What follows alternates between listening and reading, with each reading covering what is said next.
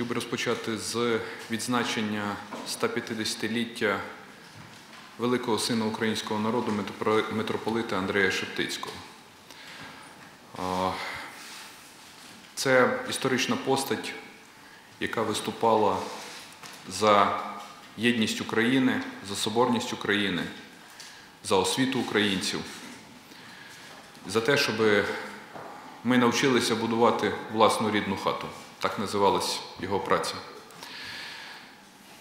І в рамках своїх освітніх програм митрополит Андрей Шептицький висловлювався за те, щоб українська молодь ставала розумнішою, отримала додаткові знання.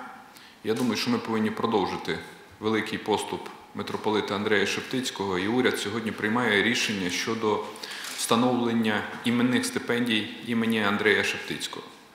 Це буде 20 іменних стипендій для тих українських магістерських програм, які будуть вивчати з Східної України Західну Україну і з Західної України Східну Україну.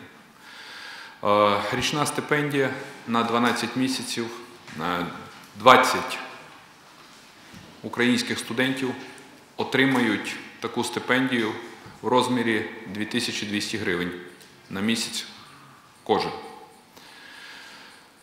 Також друге, сьогодні ми провели попередню нараду з керівництвом уряду і вважаю, що настав час, щоб в Україні на кінець то з'явився музей митрополита Андрея Шептицького.